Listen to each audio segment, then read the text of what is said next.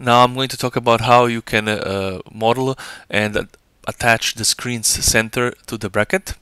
The TV uh, screen and thus its load will be represented by a corresponding vertical force which is applied to the center of the screen.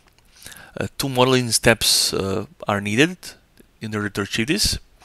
In the first step, a temporary working node is being created at the center or origin of the screen.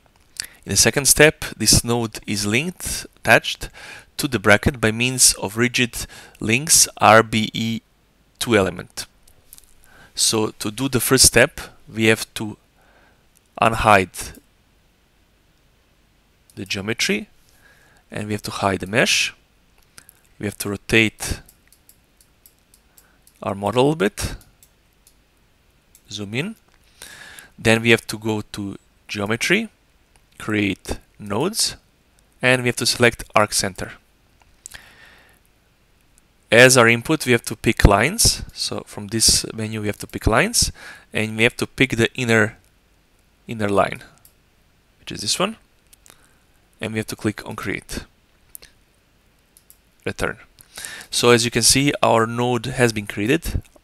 However, the location of this temporary node is not correct because it needs to be uh, at the center of the screen which means it needs to be it needs to be moved by 40 millimeters which is half half the thickness of the screen in negative x direction so in this direction.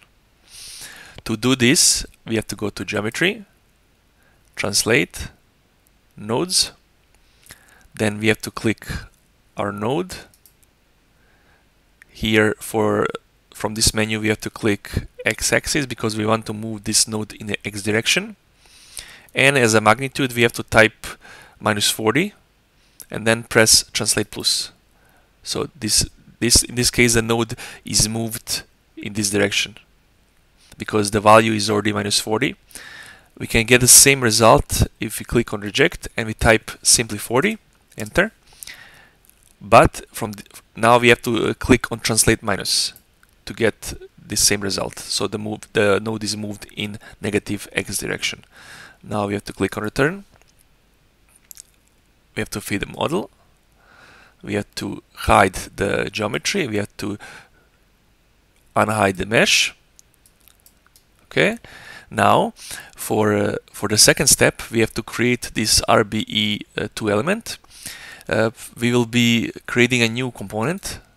So right click create component RBE2 enter and we will be assigning uh, a new color. So we'll be assigning for for example or orange color. This is because we want to keep our RBE2 elements in a separate uh, collector. So once this new RBE2 uh, collector component is uh, is uh, created it is immediately set uh, to be uh, active or current. This means that whatever we now create whatever elements we create the, the, or geometry is going to be placed in this collector so now to create this uh, RBE2 element, we have to go to mesh, then we have to go to create, and we have to select 1D element, and we have to select rigids because RBE2 is rigids. Okay, now our now we click create, and as our independent node, we click on node, and we select our temporary node which is which we just created as our dependent node, we have to select first from this uh, first menu, we have to select multiple nodes. So we can select more than one node because original the default is single node, so just one node, but we want multi multiple nodes. Then uh, we click on nodes and we select by path and we have to select all the nodes placed on uh, outer ring of this uh, of this uh, bracket. So we have to zoom in. So we select first node. And then we select this node. And then all the nodes in between are selected. So we keep we keep doing this. Okay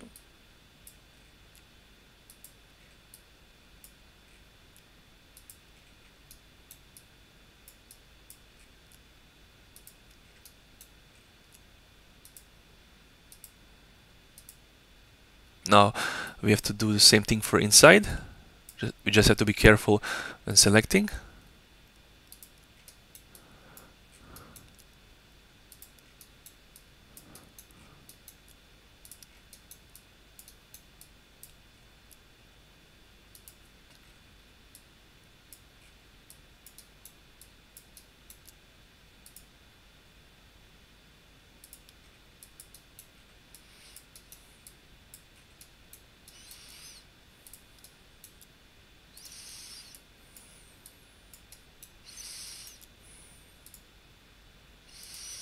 Now we have to zoom out, fit the model, and we have to just double check that all the nodes have been selected.